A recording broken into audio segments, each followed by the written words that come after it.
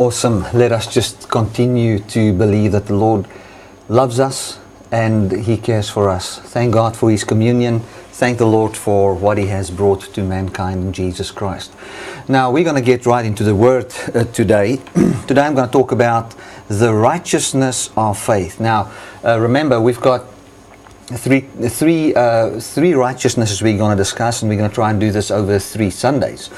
Um, the first one is the righteousness of faith. What is the righteousness of faith?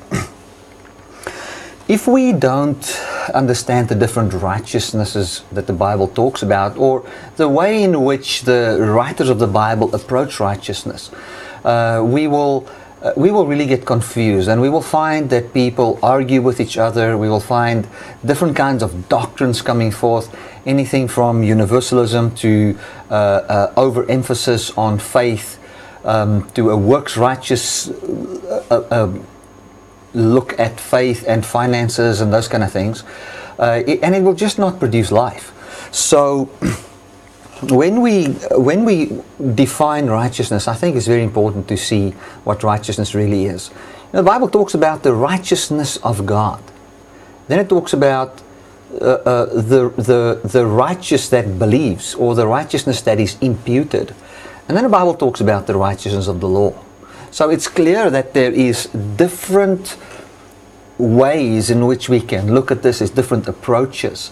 And if I come to you and I say to you that every man is righteous, um, but I am talking about the righteousness of faith or the righteousness of God, uh, you know, then I will have some people disagree with me. Or if I say to you that righteousness is imputed unto you when you believe, and you look at the righteousness, uh, you know, of the law, for instance, you will say, but what did Jesus Christ then come to do? You know, isn't everybody righteous?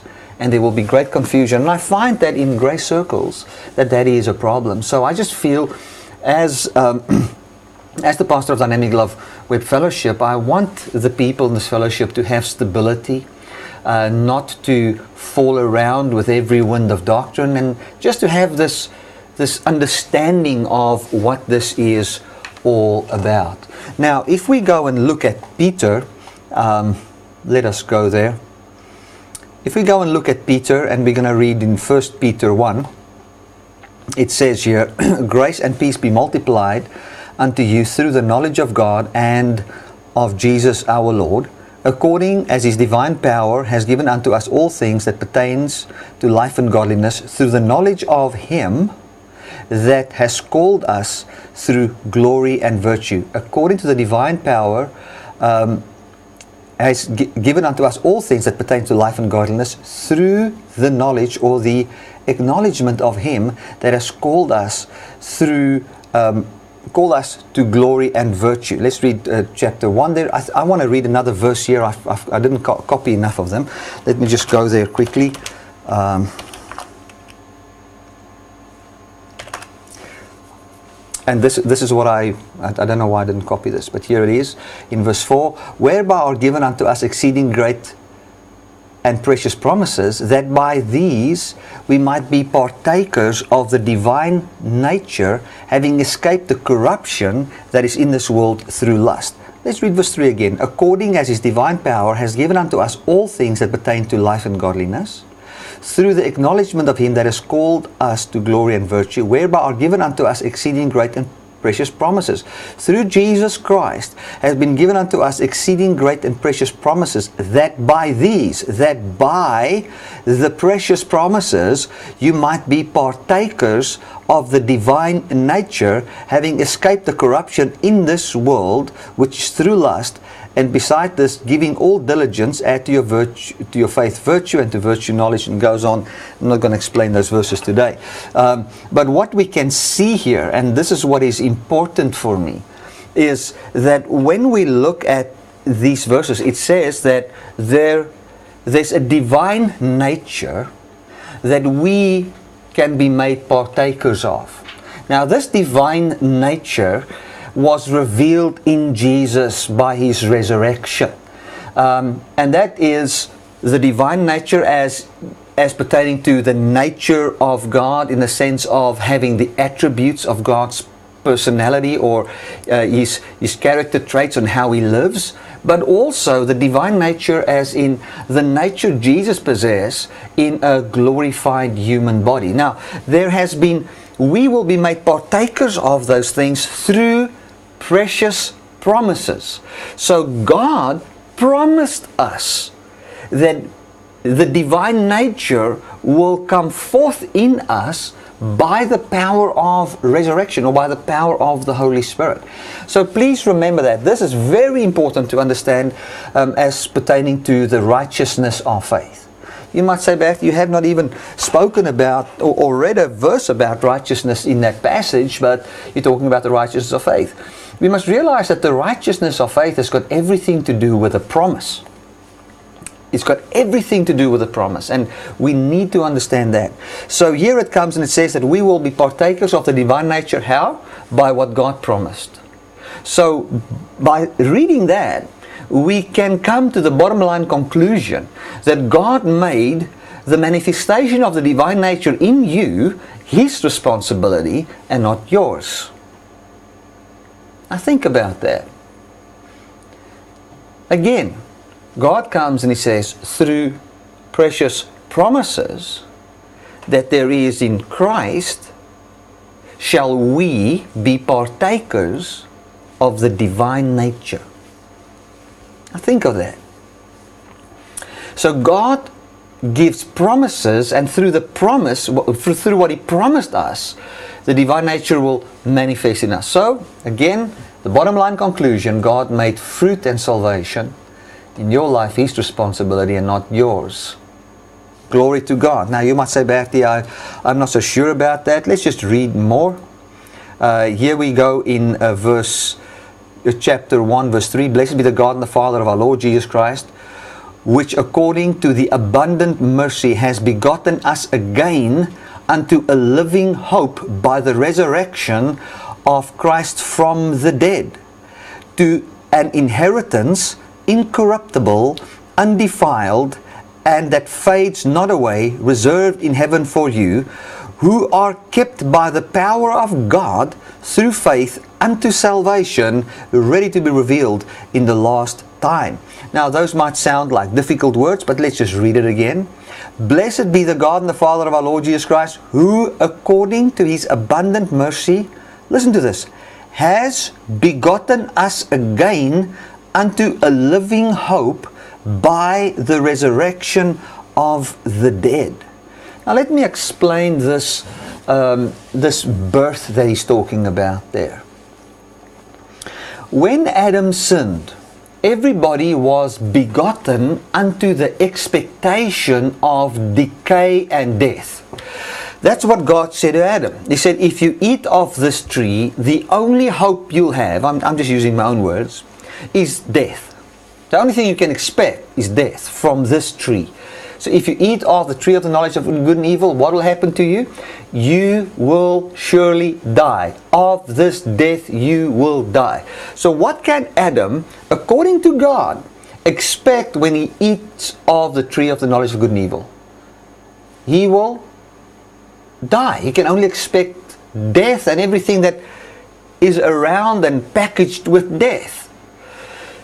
So when Adam came and as the man in the Godhead, you know, that had the life of God with him, that was fellowshipping with God, made the image and likeness of God, came and he ate of this tree, everybody was begotten unto the expectation of death. No one could expect, you know, life because they were all under that system. It's like being under the um, uh, uh, and let me put this way as long as what they're under that system, the only fruit they could bear was fruit unto death, according to Romans chapter 7.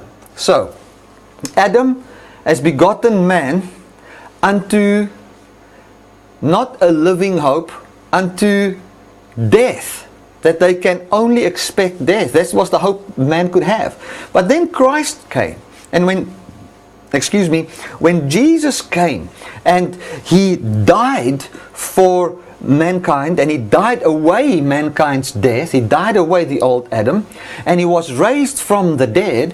When he was raised from the dead, when what we see in him is what we can now expect by the very same Spirit that raised Jesus from the dead. Okay, now let me explain that. When Jesus died, he died, we died with him. When he rose again, you know, what, what can we expect if we died with him? What does the Bible say in Romans 6? That we will be in the likeness of his resurrection. Now, what is the hope that we can have? Listen to this verse again. Blessed be the God and the Father of our Lord Jesus Christ, who has, who according to his abundant mercy has begotten us again unto a living hope by the resurrection of Christ from the dead. So, what is the thing that we can expect? we can expect it to be in the likeness of his resurrection. Now we know that we've been raised with him in the sense that, you know, we are raised up from the death that we see the first fruit of the Spirit in our life. But there is still an outstanding um, hope. There's still something we expect from the resurrection. Because what did Jesus die? He died as an, a, a man whose body came from. Um, Mary, just a normal flesh guy. He died. Then when which which is us. And then when he was raised, what body was he raised with? An immortal, undying, glorified human body with which he sat at the right hand of the Father. So what is the expectation that we can have from the resurrection? That we'll be raised from the dead. That is the hope. That is the Christian hope. The Christian hope is the resurrection from the dead. And this is a key part of it by the Holy Spirit. So, the Spirit of God came, it, He indwelled Jesus, or Jesus had the Spirit inside Him. That Spirit, even if Jesus died, could raise Jesus from the dead to sit at the right hand of the Father. Now, should we receive the very same Spirit that raised Jesus from the dead, what will the Holy Spirit do? The Holy Spirit will bring forth the divine nature in us, and the Holy Spirit will raise us from the dead. So, what is our hope? What is our expectation of the gospel? Is that God will fulfill His responsibility, which is when we receive the Holy Spirit, that we will find that Spirit bring forth the divine nature in us and make us immortal in the return of Jesus Christ. In other words, give us the resurrection from the dead. So, what do we expect from the Holy Spirit? To take the victory that Christ gave and manifest victory over sin and victory over death in us as we yield our members as instruments unto this righteousness of God. Now you might say, Betty, but what does that have to do with the with the, the righteousness of faith? Now let j- just give me a moment. I need to explain these things. And let me just recap. I want you to follow me in this. Number one, God made a promise. The promise is not just in words, we got promised with words. The promise is what Jesus was raised up into. Okay, that's what God promises us. When we hear the Holy Spirit speak to us and we receive the Spirit, and I'm going to explain to you how you receive the Spirit because everybody has not received the Holy Spirit. Um, people might say, but the Holy Spirit speaks to everybody, the Holy Spirit speaks in your heart. It doesn't matter if the Spirit of God even indwells you. Um, you know, it doesn't mean even if the Spirit would speak in your heart and in your mind, doesn't mean that you have received that Spirit or that you walk by that Spirit. And, and that I will explain. I don't want to exclude anybody here, but I don't want to exclude us from being the God kind according to Acts 17. I don't want to exclude us from being a person that lives by the persuasion of our heart as God does. So we don't want to exclude anything here. We want the original plan manifested. Okay, so back to the point again. Number one, God made a promise. This promise is the following The Spirit that raised Jesus from the dead, if that Spirit's in you, you can expect ex- exactly what Jesus Christ has, has uh, ha- or what Jesus Christ had. Let me put it even more simple. When Jesus Christ was raised from the dead, that is the promise God gave every man. I promise you this. How, did Jesus, how was Jesus raised from the dead? By the glory of the Father. Or, in other, words, the Holy Spirit. The Bible says Jesus was raised by the Spirit of God. The Father raised him by His Spirit. By the Holy Spirit, he was raised. So, what happens now uh, when we see people believe the truth? They receive the Spirit. Now, let me explain how you receive the Spirit. I explained this, this this way this morning. When I, if I don't like cycling, and I want to start to like cycling, then the only thing I've got to do is go to the cycling shop or get some friends that love cycling and just be in their presence for a month or two and just go to the cycling shop a bit. And you'll see the beautiful bicycles and they'll start to speak to you. And then you will find that, as in South Africa, South Africa is really, you know, people cycle a lot in South Africa. It's like, let, let's not, don't think I'm too spiritual, but there's like a spirit of cycling in South Africa. You know, the spirit is already in South Africa, and if you are in, in South Africa, man, you're in the place where there's a spirit of cycling. But I don't find everybody walking by the spirit of cycling. You know, I mean, I was on the way to church today, and I think that there was a race. There must have been about a thousand people on the road today, a thousand cyclists on the road today. I was on my way to church. They were enjoying the cycling. You know, so um, I'm not saying cycling is wrong, but please just understand what I'm trying to say. The one person's life is governed by that spirit of cycling. You know, and that spirit of cycling raises him up to be a cyclist. And in the very same way with the Spirit of God, the Spirit of God has been poured out, the Bible says, on all flesh. It's been poured out on the planet we are now in a place where the kingdom of God has now come and the Spirit of our Lord is now here, speaking to the heart of every person. But as we hang out, in that atmosphere and listen to the Holy Spirit, we'll come to a place where we can then believe this truth and walk according to the Spirit of truth and receive that Spirit into us. And as the Spirit of cycling would give life to a cyclist in a person that allows that Spirit in him. Now I find people completely overweight. You know, like you know, cycling. You know, they, you, you can, it's uncomfortable for them or whatever, but it doesn't matter. The, the, that spur of cycling will bring forth a cyclist in them. You know, in the very same way, once the Spirit of God has entered into us, which is the Spirit of our innocence, which is the Spirit of our forgiveness, which is the Spirit of Christ, which is the union that there is between the Father and the Son, that, that oneness in the Trinity, once we start to say, well, the Spirit that God walks by is this.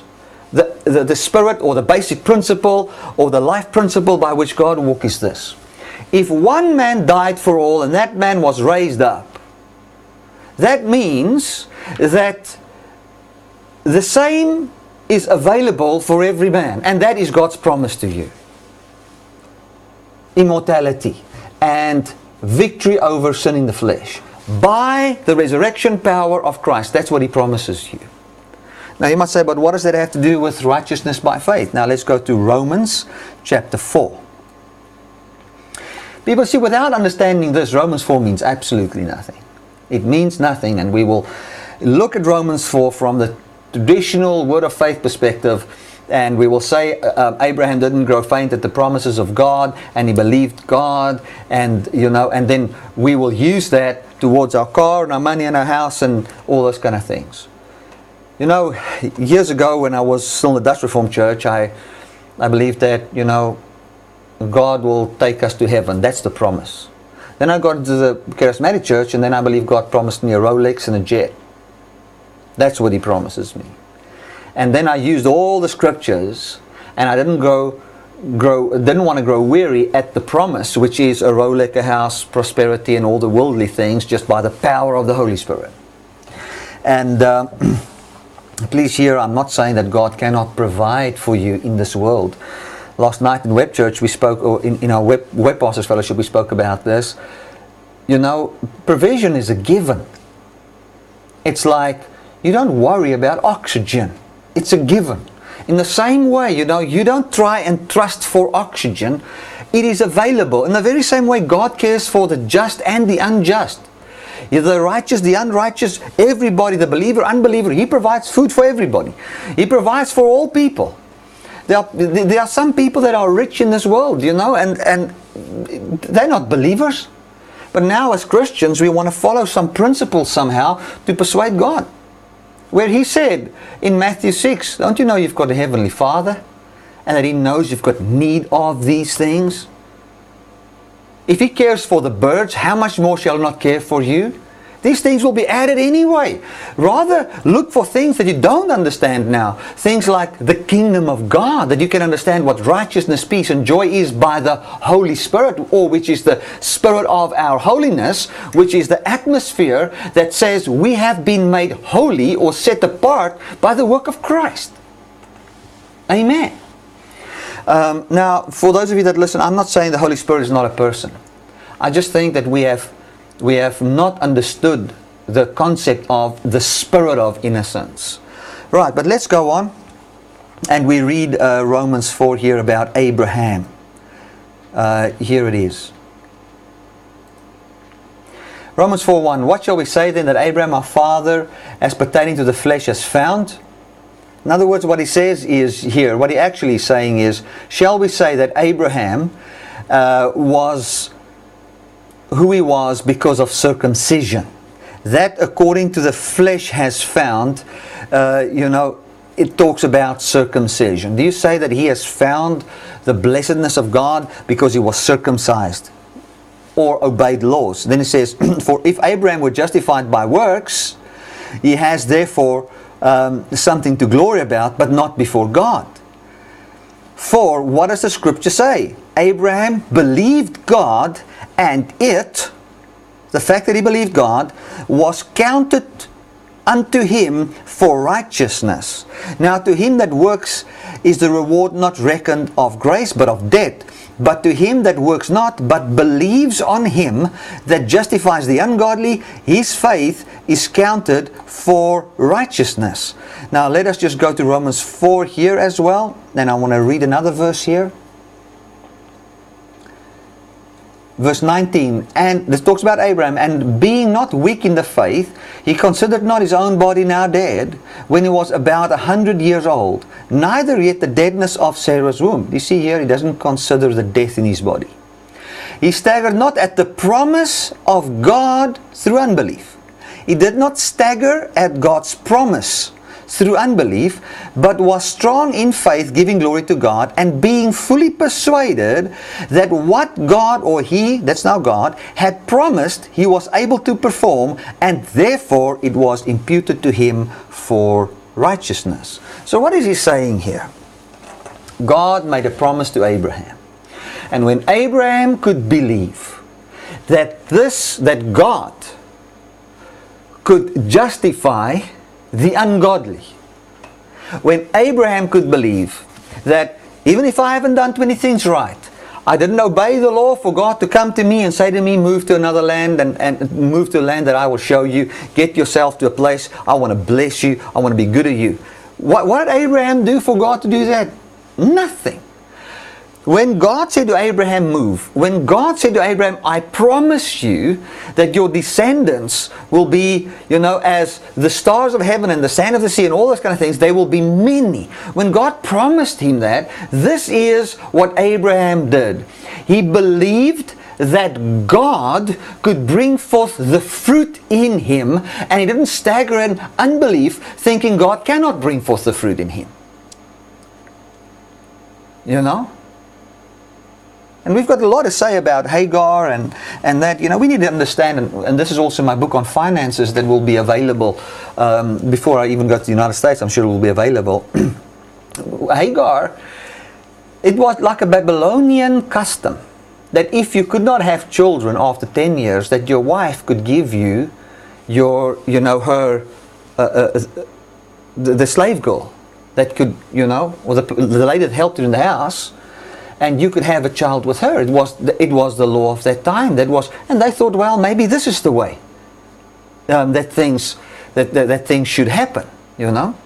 Uh, in the very same way, you know, we today, we can live with an expectation. And, and, and when we, so, so please let's not judge Abraham, uh, you know, concerning Hagar and those kind of things. You know, he, God said, I will give you from Sarah. And he didn't, he thought, I think he was confused because we must remember, Abraham wasn't born in the Bible Belt. Abraham wasn't born in the theological capital of South Africa, Stellenbosch or, or uh, Potchefstroom. You know, he wasn't born there. He was like this guy that had idols and everything, and then God came and blessed the ungodly. That's it. And then from there, and then he just believed that if God said this, that's okay, then God will bring it forth. So, in the very same way with us, Paul comes and he uses this this incident with Abraham, when Abraham believed God and was accounting for righteousness, to set something straight in the church in Rome and to set something straight in the Jewish mind. Imagine, or, or let me put this way the Jews that time thought that if you believe in faith righteousness, it's a sin. It's absolute sin. How can you just believe that God will take an ungodly person and justify him with the promise, which is eternal life? And fruit in his life. How, how, how do you want to, based on what? Do you say God is just going to do that and we must neglect the law of Moses, don't follow the customs of Moses and all those things? Imagine a nation whose father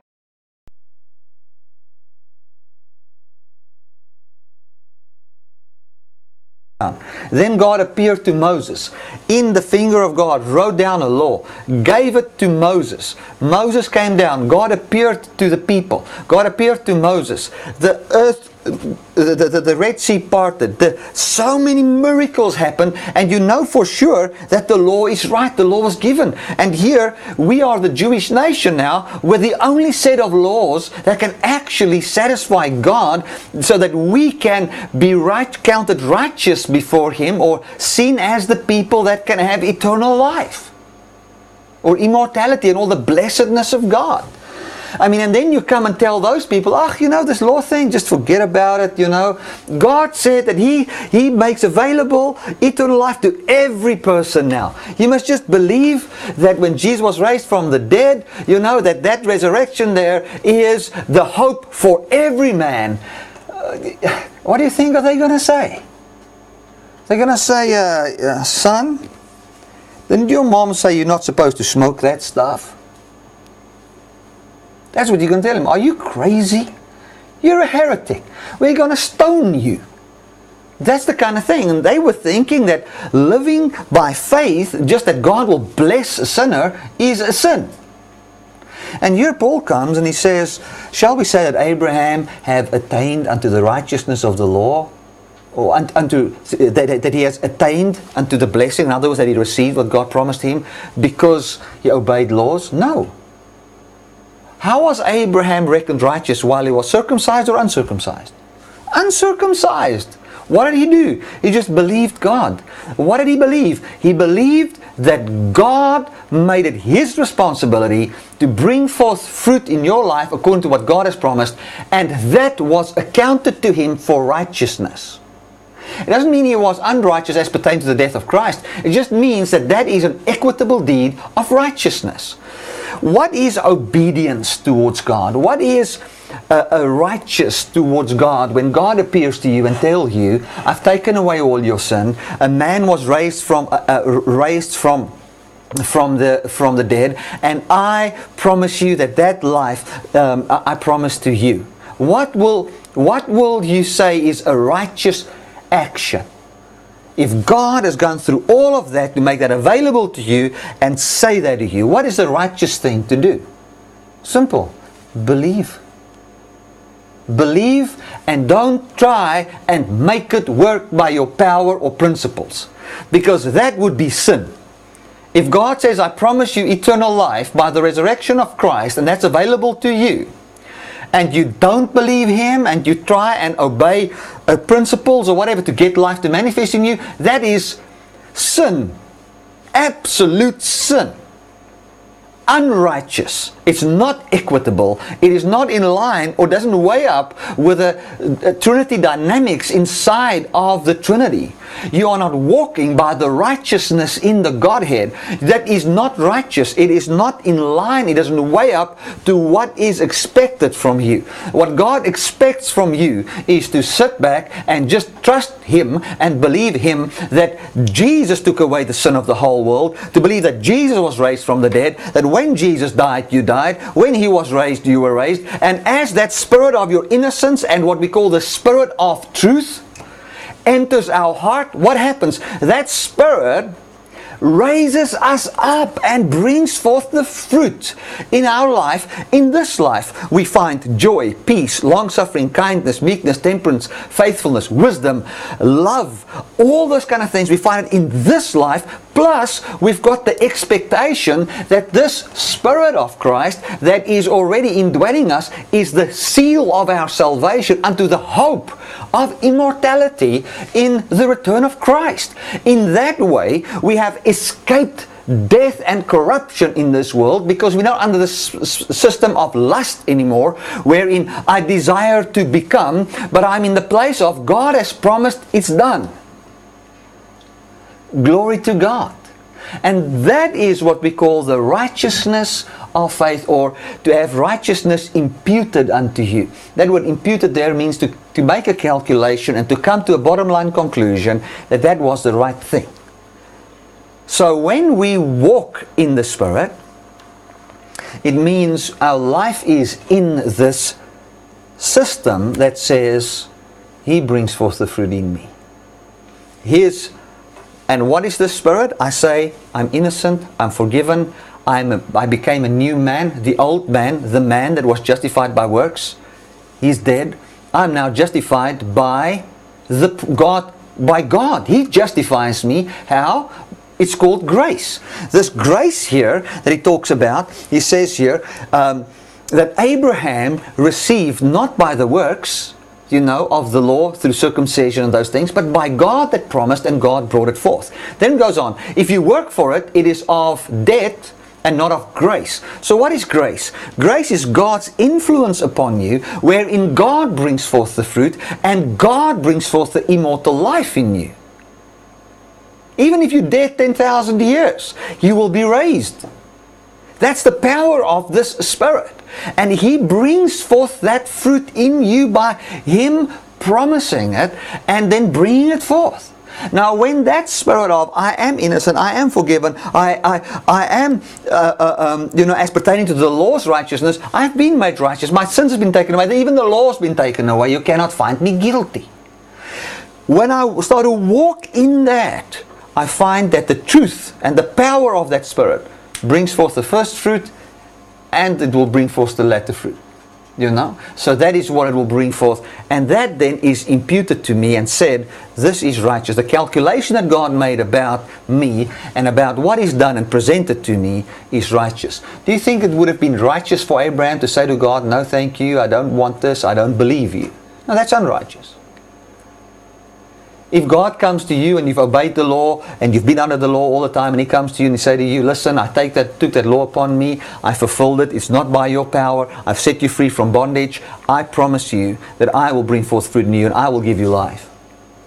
What is the right, what, what, if, if I must make a, have a word over your life, when you presented with that and you say, oh God, please give me a break you know, I don't need that. Do you think that's righteous? That's not accounted to you for righteousness. That will be accounted to you for sin. If you say, no, no, I'm still going to try and tithe, sow and reap, do all these principles, that's unrighteousness. That action is accounted to you, said, this is unrighteous, this is not righteous. Although all your sins are forgiven, that action right there is one of unrighteousness. So what shall we do? We shall not seek justification, or in other words, the fruit of the Spirit plus immortality by the works of the law. That is the righteousness of faith. Glory to God. I hope you understand righteousness of faith or righteousness that's imputed unto us. Uh, next Sunday we will talk about the righteousness of the law and we will also talk about the righteousness of God on the Sunday after that and what it actually means to be made the righteousness of God. Because to be made the righteousness of God and to have righteousness accounted unto you is not the same thing. It is not the same thing. And uh, we will talk about those things. Thank you so much that you have slotted into this webcast. I trust that you're going to be, you know, just blessed in this week as you listen to this message again. Please use the freedom to share this with somebody. Um, it would be wonderful if you can share this with somebody. Glory to God. Um, let us just pray together, and then I want to just say something about finances.